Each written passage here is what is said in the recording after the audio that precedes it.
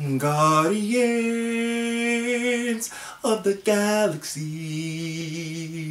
They are guardians of the galaxy.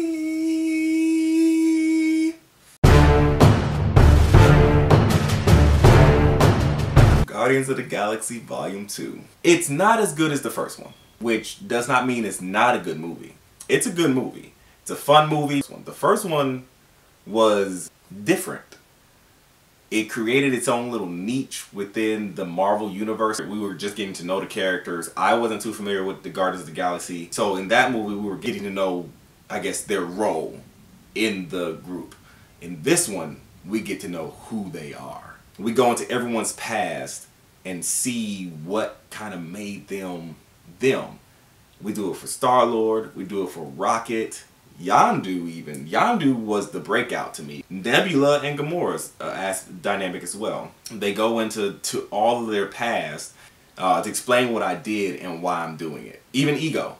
This movie is wholeheartedly Star Lord. We see the dynamic between him and his father, why his father um, never came back for him, what his father is, what he is, and the future that his father wants for him in addition to that, the movie is not bigger, more explosions, bigger fights, better in that aspect. It's bigger and better because of the character building. It gets us closer to the characters.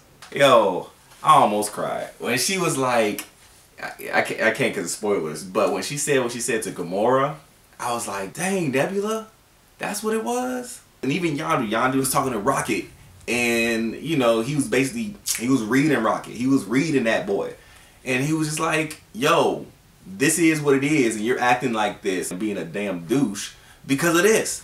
I was like, "Dang, Yondu," it makes all of them more human. They've been through some shit, and they have to protect themselves. It's bigger because of that, and that's a good thing because it builds that relationship between the audience and the characters and allows you to grow with them. Someone's gonna die eventually and we all are gonna be fucking hurt because I'm invested.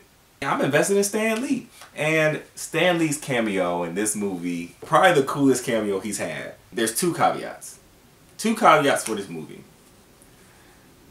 The first one is the movie just didn't seem to flow like we would jump from one thing to another. And that leads me to my next the golden people. I get why they're in the movie because of the after credit scenes and all that. They were just out of place at times. And we're here we're here we're doing this we're having fun. Boom now we got golden people. I feel like they were unnecessary to be in the movie so much. Drax is obviously the comedic star in this movie. They gave drax the golden lines. He had the best jokes. And the way he delivered them he owns that character Drax. He's really, really funny in this movie. Most of the jokes come from Drax. This baby Groot is super cute. But there's a lot of baby Groot in it and I just... I don't want to say it was too much. They could have pulled back a little bit. Literally the first scene, baby Groot is dancing and it's like, come on you guys, this is ridiculous. I want a baby Groot.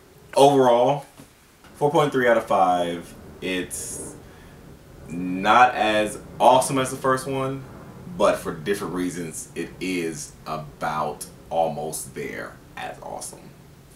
Go to the movies. Go see it. If you didn't see it this weekend, go see it next weekend. Um, if you can't afford the 14 17 $20 tickets, go see the matinee for 5 6 $7. I don't think it's a waste of money to even go see it in 3D. You'll enjoy yourself. You'll have lots of fun. You'll laugh. You may even cry. You won't be disappointed. And until next time, may the fourth be with you. They are guardians of the galaxy.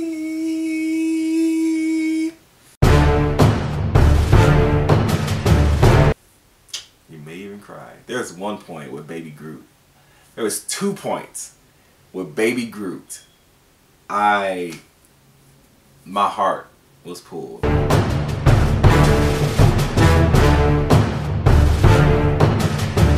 I did this whole scene where he's kind of protecting the ship and it's kind of Home Alone esque.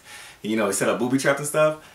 They were awesome. I'm just looking like I want that. Like I want an alarm system like that for my house.